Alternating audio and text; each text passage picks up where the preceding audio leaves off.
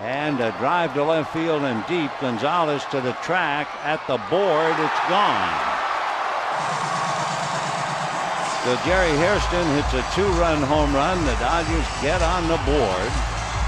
And it's now 12 to 2 in favor of Colorado. But also what it means, we'll have a chance to see Hanley.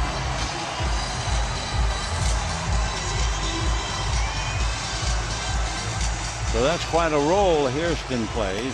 He gets in the game as a pinch hitter and strikes out.